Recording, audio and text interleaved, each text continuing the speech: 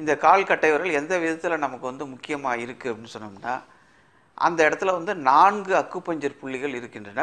ஒவ்வொன்றும் மிகவும் முக்கியமான அக்குப்பஞ்சர் புள்ளிகளாக இருக்கிறது. இப்போ கால் கட்டை விரல்களை நான்கு புள்ளிகளை பார்க்கிறோம். இப்போ இந்த நெகத்தினுடைய இந்த ஓரத்தில் இருக்கிறது எஸ்பி ஒன் அதாவது மண் ஓட்டத்தின் முதல் புள்ளி. அதுக்கு பிறகு கால் கட்டை விரலை மடக்கிறப்ப இன்னொரு புள்ளி தெரியுது உச்சியில் புள்ளி தெரியுது. இந்த புள்ளி வந்து எஸ்பி டூ இதை வந்து முதல் நூலில் நம்ம எப்படி சொல்லியிருக்கோம் அப்படின்னு சொன்னோம்னா கார் பெருவிரல் கைமடக்க கூர் மடிப்பில் மண் தீயாம் சர்க்கரை நோய் வந்ததென சாற்றிவிடும் இவ்விடத்தே அப்படின்னு ஒரு பாடல் சொல்லி இதை குறிப்பிட்டிருக்கோம். இது எஸ்பி டூ இப்போ நீங்கள் எண்ணெய் தேய்க்கிறது மூலம் இப்படி நீவது மூலம் உங்களுடைய தசை வளர்ச்சியும் உங்களுக்கு கிடைக்கும். அதே நேரத்தில் சர்க்கரை நோயிலிருந்தும் படிப்படியாக விடுபடலாம். இப்போ அடுத்தாப்புல இந்த இடத்துல மையமாக இருக்கிறது தான் இது வந்து லிவர் ஒன் என்கிற ஒரு புள்ளி. கல்லீரனுடைய தன்வலு உயிர் ஆ இதுக்கு பக்கத்தில் இருக்கிற புள்ளி தான் வந்து லிவர் டூ இந்த இடத்துல தான் வந்து இறந்தவங்களுக்கு கயிறு போட்டு கட்டுறது. இதுதான் மாதுளம் புள்ளி அப்படின்னு சொல்லிட்டு நம்முடைய இரண்டாவது புத்தகத்தில் நம்ம வந்து குறிப்பிட்டிருக்கோம். ஆக இந்த கட்டை விரலில் நாலு புள்ளி இது போல் சிறப்பாக அமைந்து நம்முடைய முழு உடல் நலத்திற்கும் வழிவகுக்குது. இதில் ஆதி வளையம் என்று சொல்வது இந்த இந்த வளையத்தையே நம்ம ஆதி வளையம் என்று சொல்கிறோம். அதுக்கு பிறகு கணுக்கால் வளையம் வந்து வருது. எந்த ஒரு நோயாக இருந்தாலும் நீங்கள் மண்ணிலிருந்து நுண்சத்து எடுக்க வேண்டும். அது இதயத்துக்கும் மனதுக்கும் செல்ல வேண்டும். இதை நாக்கை அசைக்கக்கூடிய ஒரு புள்ளி என்றும் சொல்லலாம். ஆக இந்த ஆதி வளையத்துக்கை நீங்கள் நலமாக வைத்திராமல் உடம்பின் எந்த பகுதியுமே நீங்கள் நலமாக வைத்திருக்க முடியாது. அந்த வகையில் மிகவும் கட்டை விரல் முக்கியத்துவம் பெறுகிறது. இப்போ அந்த நான்கு புள்ளிகளுக்குமான சக்தியை நீங்கள் பாத ஒரு காலை வந்து தூக்கி வச்சு நட நடக்கிறீங்க அப்படின்னம்னா பாதத்துக்கு அடியில் கே ஒன் அப்படின்னு சொல்லிட்டு ஒரு புள்ளி இருக்குது அந்த கே ஒன் அப்படிங்கிற புள்ளி என்ன அப்படின்னு சொன்னோம்னா சிறுநீரகம் என்கிற பெரிய மின்கலமும் கல்லீரல் என்கிற சிறிய மின்கலமும் சந்தித்து கொள்ளுகிற இடம். அது அந்த சந்திச்சினோன்னா அது ஒரு தீப்பொறி மாதிரி நம்ம உடம்புக்கு சக்தி கொடுக்குது. இது வந்து முன்னங்கால் மையம் என்பது தோராயம். இந்த கே ஒன் அப்படிங்கிற புள்ளி. மிருகங்கள்லாம் நட நட நடன் நடந்துகிட்டே இருக்கிறதுனால இந்த ரெண்டு மின்கலமும் இயங்கிறதுல அதுங்களுக்கு வந்து மருத்துவமனை என்பதே தேவையில்லை. நோ ஹாஸ்பிட்டல் அந்த அளவுக்கு அந்த புள்ளி. நம்ம நம்முடைய இதில் வந்து நம்ம அலுவலகங்கள்னு நின்றுட்டு நின்றுக்கிட்டோ உட்காந்துட்டு வேலை பார்த்துருக்கோம். அதிக நடை கிடையாது. வீட்டிலையும் நமக்கு வந்து அதிக நடை கிடையாது. ஏனென்றால் குறுகிய சதுரடிகளில் நம்ம வந்து வாழ்ந்துக்கிட்டு இருக்கிறதுனால நடையை விட்டுட்டோம். வெறும் சோபாவே கதி என்றும் இந்த மாதிரி நம்ம இருக்கிறப்ப அந்த நடைக்கு அதிகம் பயன்பாடு இல்லாதனால கே ஒன் அப்படிங்கிறது போயிடுது. இப்போ கே ஒன்ங்கிறதுலேருந்து சக்தி கிடைத்தால் உடனே கால் பாதத்தில் அந்த கட்டை விரல் வந்து சுறுசுறு சுறுன்னு வேலை பார்க்குது. அவ்வாறு சு அந்த இடத்துல நாலு புள்ளி அக்குப்பஞ்சர் புள்ளிகள் இருக்கிறது தான் அதனுடைய மிகப்பெரிய சிறப்பு. அதுலேயும் எந்த விதத்தில் அது முக்கியமானதாக இருக்குன்னு சொன்னோம்னா நம்ம உடம்புன்னு சொல்லிட்டு அன்னமய கோஷம் அப்படிங்கிறது நமக்கு தெரியும் பருவுடல். இந்த பருவுடலுக்கு நல்ல ஒரு வளர்ச்சியாகவும் ஆரோக்கியமாகவும் நிலையாகவும் நல்லபடியாகவும் இருக்கணும் அப்படின்னு சொன்னோம்னா முதல்ல வந்து நம்ம சாப்பிட்ற சாப்பாட்டிலேருந்து நுட்பமான சத்துக்களை எடுக்கக்கூடிய திறமை நமக்கு இருக்கணும். அது வந்து எஸ்பி ஒன் அப்படிங்கிற புள்ளி கால்கட்ட விரல் முதல்ல அது வந்து தொடங்குது. அதுக்கு அந்தாண்ட பக்கம் பார்த்தீங்கன்னா கிட்டத்தட்ட அந்த கால்கட்டவர் நகத்துக்கு மையமாக கொஞ்சம் மேலே இருக்கிறது இன்னொரு புள்ளி. அந்த புள்ளிக்கு பேர் வந்து லிவர் ஒன். லிவர் ஒன்றுனா என்னன்னா கல்லீரலினுடைய அந்த மின்கலத்தினுடைய ஆற்றலை தேக்கி வைக்கக்கூடிய ஒரு இடம். அதை நம்ம தமிழில் சொல்கிறப்ப உயிர் ஆ புள்ளி அப்படின்னு சொல்லுவோம். கல்லீரலுக்கே வந்து முழு சக்தியையும் வந்து திரண்டு இருக்கக்கூடிய பானை அப்படின்னு சொல்லிட்டு சொல்லலாம். இப்போ கே ஒன் அப்படின்னு நீங்கள் நடக்கிறப்ப அந்த சக்தி உருவாகிறப்ப அந்த சக்தியை குள்கலமாக சேமித்து வைத்து கொண்டிருக்கக்கூடிய இடம் லிவர் ஒன் உயிர் அ. இப்போ கல்லீரல்ங்கிற பானையில் வந்து ச ஒரு எனர்ஜி சக்திங்கிறது திரண்டுக்கிட்டு இருக்கப்ப அது பக்கத்திலே இருக்கிற புள்ளி தான் எஸ்பி ஒன் அதனால தான் சாப்பிட்ட உடனே ஒரு மெது நடை அதுவும் வெறுங்காலோட நடை இருக்கிறது ரொம்ப சிறப்பு. வெறுங்காலோட நீங்கள் நடந்தீங்கன்னா அந்த கட்டை விரல் தரையில் அழுந்த அழுந்த கல்லீரலினுடைய சக்தியும் மண்ணீரலினுடைய சக்தியும் பரிமாறப்படுகிற பொழுது செரிமானம் என்பது ரொம்ப எளிமையாக நடந்துடும் இப்போ இந்த ரெண்டு புள்ளிகளும் வந்து இது போல் அந்த கே ஒன் என்கிற நடையின் மூலம் கல்லீரல் நிரம்பி மண்ணீரலினுடைய சக்தி நிரம்பி இருக்கப்ப அதனுடைய அடுத்தடுத்த நிலைகளை வந்து வலு செய்ய முடியும். அப்பாறு வலு செய்கிறப்ப லிவர் டூ அப்படிங்கிறதுல இடத்துல என்ன நடக்குது? அது வந்து கால் கட்டை விரலுக்கும் கால் கட்டை விரலுக்கு பக்கத்தில் உள்ள ரெண்டாவது விரலுக்கும் இடையில உள்ள இடுக்கு. இது ரொம்ப ரொம்ப முக்கியமான ஒரு புள்ளி. ஏனென்றால் இந்த இடத்திலிருந்தான் சக்தி லிவர் டூவில் மனதுக்கும் இதயத்திற்கும் பாய்கிறது. இப்போ இறந்தவங்களுடைய கால் கட்ட இந்த பக்கத்துலேயும் அந்த கட்ட செத்து சேர்த்து ஒரு கயிறை போட்டு கட்டுறாங்க. அதை நம்ம கண்ணால் பார்த்துருக்கோம் ஆனால் என்ன ஏதுன்னு நமக்கு தெரியாது. அந்த இடத்துல ஒரு இறுக்கத்தை கொடுப்பதன் மூலம் கல்லீரலில் சக்தி இருந்தால் அந்த சக்தி அடுத்த நிலையாக மனதுக்கும் இதயத்துக்கும் பாயும். அந்த ஆள் முடிச்சுக்குவார் அவருடைய உடம்புல ரத்த ஓட்டம் ஏற்படும். என்னை ஏன் இது மாதிரி செஞ்சுக்கிட்டு இருக்கீங்க? அப்படின்னு சொல்லிட்டு எழுச்சி கேட்பார். ஆக அது அவருக்கு கொடுக்கக்கூடிய இறந்தவர் கொடுக்கக்கூடிய ஒரு கடைசி வாய்ப்பாகும் காலில் கட்டை வருவது இது நம்முடைய தமிழ் மரபுகளை ஆய்ந்தால் எந்த அளவுக்கு நுட்பமாகிய நுட்பமாக சித்தர்கள் இந்த நடைமுறைகளை செதுக்கி இருக்கிறார்கள் என்பதை நீங்கள் அறியலாம். ஆக அந்த இடத்துல அந்த புள்ளி இந்த புள்ளிக்கு நம்ம நூல்களில் என்ன பேர் கொடுத்துருக்கோம் அப்படின்னு சொன்னோம்னா மன அக்குப்பஞ்சரில் மாதுளம் புள்ளி அப்படின்னு சொல்லிட்டு குறிப்பிட்டிருக்கோம். இந்த மாதுளம் புள்ளியை பொறுத்த ப- ப- பழத்தை பொறுத்தளவுக்கு அதை ஐம்பூத கனி அப்படின்னு சொல்கிறோம் ஏன் அப்படின்னு சொன்னோம்னா அதில் வந்து அந்த ஐம்பூதத்தையும் தூண்டக்கூடிய சக்தி அதில் பொதிந்து இருக்கிறது. நீங்கள் மாதுளம் பழத்தை உண்ணுகிற பொழுது அதனுடைய புறத்தோல் சிவப்பாக இருக்கிற புறத்தோல் மட்டும்தான் குப்பைக்கு போக வேண்டும். துவர்ப்பாக இருக்கக்கூடிய கசப்பாக இருக்கக்கூடிய அதனுடைய குருத்து பகுதியும் மஞ்சளாக இருக்கக்கூடிய அதனுடைய படலத்தையும். அதில் உள்ள மணிகளையும் சேர்த்து தான் நீங்கள் உண்ண வேண்டும். வெளிக்கு வெளியே இருக்கின்ற சிவப்பு தோல் மட்டும்தான் குப்பைக்கு போக வேண்டும். நீங்கள் வந்து சாறு மாதிரி குடித்தாலும் சரி அல்லது அதை வந்து அப்படியே தின்றாலும் சரி இந்த மூணும் சேர்ந்து உள்ளே போனால் தான் கசப்பு என்பது உங்களுடைய நெருப்பு பூதத்தை தூண்டும். அந்த மணியினுடைய சிவப்பு நிறம் என்பதும் நெருப்பு தூண்டும். எல்லாமும் சேர்ந்து போகிறப்ப உங்களுக்கு முழு உடம்பு முழுக்க ரத்த ஓட்டம் பரவலாக கிடைக்கும். இவ்வாறு அந்த மாதுளம்பழத்தை நீங்கள் வந்து சாப்பிட்டா என்ன ஒரு சக்தி கிடைக்குமோ அந்த சக்தி இந்த லிவர் டூ என்கிற புள்ளியில் உங்களுக்கு கிடைக்கிறது. அடுத்ததாக அதன் பக்கத்தில் அந்த கட்டைவலினுடைய அடுத்த பகுதியில் உள்ள எஸ்பி ஒன்றுக்கும் மேலே இருக்கிற எஸ்பி டூ என்கிற புள்ளியை பார்ப்போம். இந்த எஸ்பி டூவை பொறுத்தளவுக்கு அதை அந்த அந்த புள்ளியை வந்து மண் ஓட்டத்தில் நெருப்பு என்று குறிப்பிடுவோம். சர்க்கரை நோய் என்று சொன்னால் அக்குப்பஞ்சரை பொறுத்தளவுக்கு தீவிரமான நிலையில் உள்ள செரியாமை நோய் என்பதுதான் பொருள்.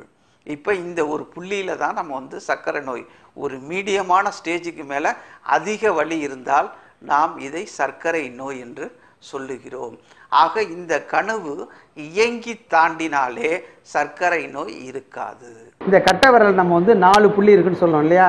லிவர் ஒன்று லிவர் டூ லிவர் ஒன்றை தொட்டால் கல்லீரல் லிவர் டூவை தொட்டால் இதயத்துக்கு சக்தி போகும். இந்த இடத்துல மண் வந்து இரவல் வாங்கி சக்தி பெறும்.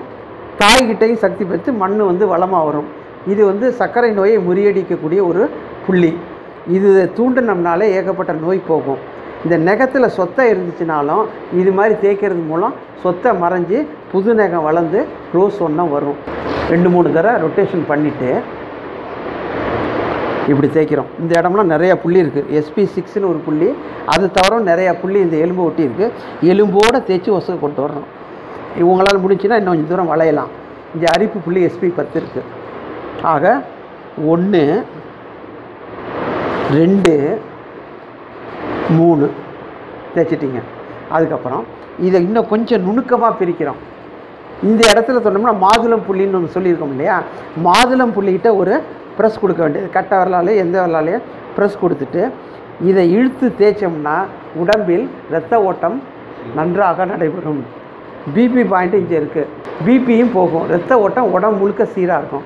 இந்த இடத்த அழுத்திக்கிட்டு கணுக்கால் வரைக்கும் கொண்டு வந்தால் போதும். இது ஒரு பத்து பதினஞ்சு பாயிண்ட்டாக இருந்தாலும் ஆரம்பத்தை தூண்டினோம்னாலே அது கடைசி வரைக்கும் போய் சேரும். இதை ஒரு மூணு தரம் அடுத்தது செரிமானம் அப்படின்னு சொல்கிறது வந்து எஸ்பி ஒன் எஸ்பி டூன்னு சக்கரை புள்ளின்னு சொல்லிட்டு சொல்கிறோம் செரிமானமின்மையுடைய உச்சம். இது இந்த லைனை எடுத்து எஸ்பி த்ரீ இதோட எஸ்பி ஃபைவ் வரைக்கும் கொண்டு வரணும். ஆக இதை தேய்ச்சோம்னா செரிமானம் நன்றாக நடைபெறும். ஒன்று ரெண்டு மூணு.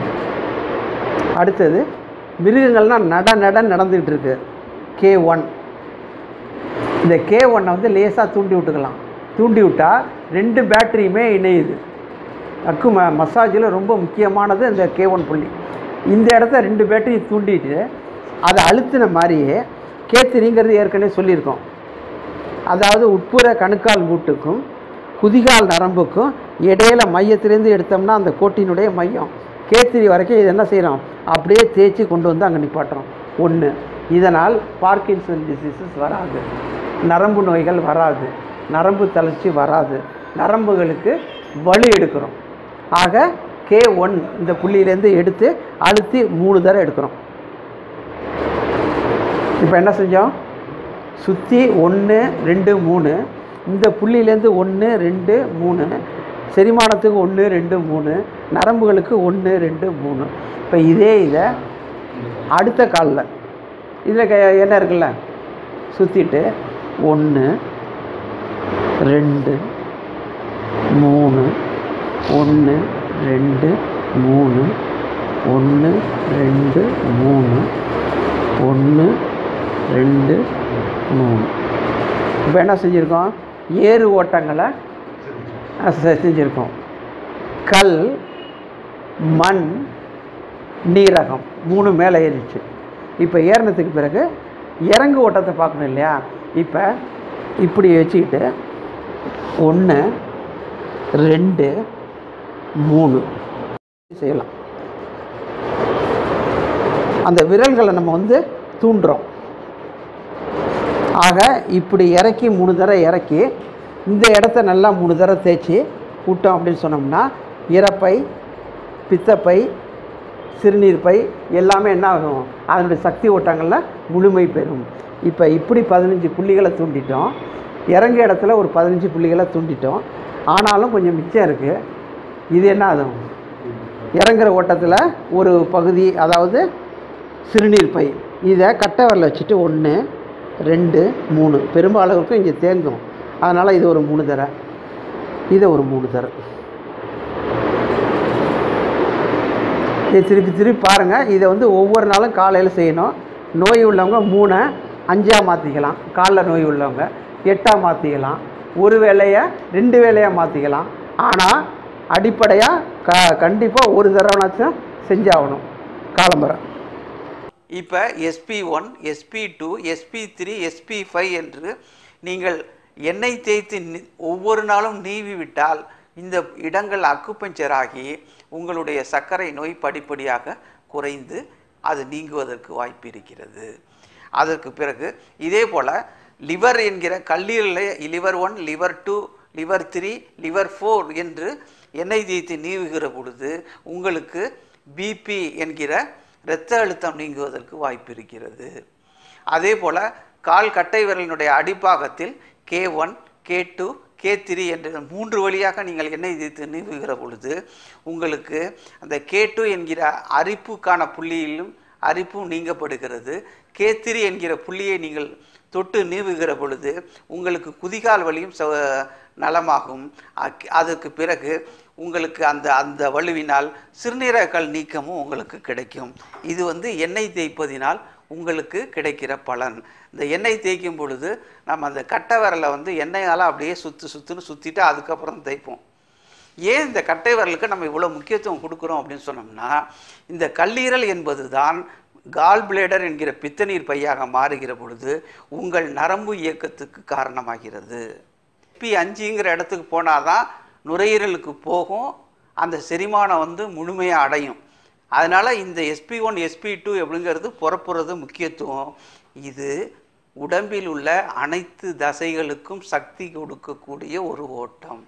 ஆக எஸ்பி என்பது தசைகளின் ஓட்டம். அப்புறம் K one K two K three அப்படின்னு பார்த்தோம்னா இது மூணும் எப்படி ஓடுது அப்படின்னு சொல்லிட்டு போனால் இது உங்களுடைய மொத்த எலும்பு தொடர்களுக்கும் சக்தி கொடுக்கக்கூடிய ஓட்டம். ஏன்னா உப்பு நீர் அப்படிங்கிறது நம்ம முதுகில் தான் இறங்குது.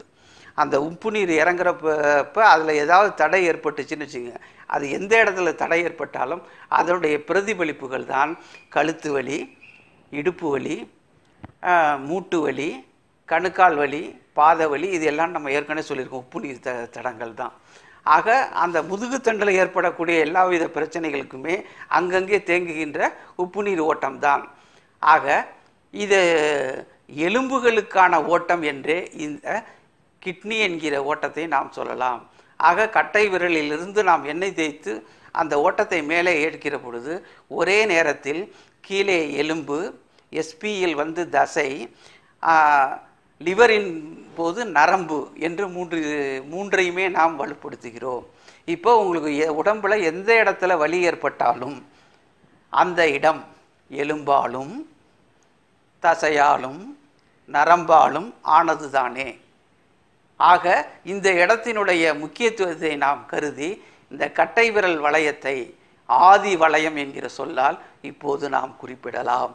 இந்த ஆதி வளையத்தை நீங்கள் முழுமையான இயக்கத்தோடு கடந்து செல்வது போல அதனுடைய இயக்கத்தை நீங்கள் சரி செய்தால்தான் உங்களுக்கு அந்த பகுதியில் இருக்கிற கட்டை விரல் நகமே சொத்தை இல்லாமல் இருக்கும். இரத்த ஓட்டம் நன்கு நடப்பதால். நீங்கள் தொடர்ந்து எண்ணெய் தேய்த்து வருவதால் கட்டை விரலில் இருக்கிற சொத்தை கூட போகும். இந்த ஆதி வளையத்திற்கு அடுத்த வளையமாக இருப்பதுதான் கணுக்கால் வளையம். இந்த கணுக்காலில் தான் கொலுசு போடுகிறார்கள். மேற்கொண்டு நடனமாடுகிறவர்கள் சலங்கை கட்டுகிறார்கள். ஏன் இந்த கணுக்கால் முக்கியத்துவம் பெறுகிறது என்றால் இந்த கணுக்காலை தாண்டி தான் எஸ்பி ஃபைவ் நுரையினுடைய சக்தி மேலே போக வேண்டும். லிவர் ஃபோர் நுரையினுடைய சக்தி மேலே போக வேண்டும். எஸ்டி ஃபார்ட்டி ஒன் நுரையினுடைய தீயினுடைய சக்தியை வாங்கி இறங்க வேண்டும். ஆக இந்த கணுக்காலினுடைய வளையம் இரண்டாவது வளையம். அதற்கு பிறகு முட்டி என்பது மண்பூதமும் நீர்பூதமும் ஆறு புள்ளிகள் சந்திக்கிற இடம். அது மூன்றாவது வளையம். இடுப்பு என்பது நான்காவது வளையம். கழுத்து என்பது ஐந்தாவது வளையம். நீங்கள் ஆதி வளையத்தையும் கணுக்கால் வளையத்தையும் முட்டியோடு இருக்கிற வளையத்தையும் சரி செய்யாமல் நான் இடுப்புக்கு மட்டும்தான் நான் சௌகரியம் பார்ப்பேன். நலம் நலம் செய்ய முயற்சி செய்வேன் என்பதும் கழுத்துக்கு மட்டும்தான் நான் குணப்படுத்த அந்த இடத்தில் முயற்சி செய்வேன் என்பதும் ஒரு குறிப்பிட்ட இடத்தில் செய்கிற தற்காலிக தீர்வாக அமையுமே தவிர அது நிரந்தர தீர்வாக அமையாது. முழுமையான தீர்வு உங்களுக்கு வேண்டுமென்றால் இந்த ஆதி வளையம் என்கிற கட்டை விரல் பகுதியில் உள்ள நான்கு புள்ளிகளும் வழியின்றி சிறப்பாக இயங்க வேண்டும். இந்த முழு உடலையும் நீங்கள் பராமரிக்க வேண்டுமென்றால் ஐம்பூத தீர்வு தான் மிகவும் சரியானது. ஐம்பூத தீர்வு என்றால் என்ன என்பதை என்னுடைய அக்குப்பஞ்சரின் மூன்றாவது நூலாகிய உயிர் அக்குப்பஞ்சரில் கூறியுள்ளேன்.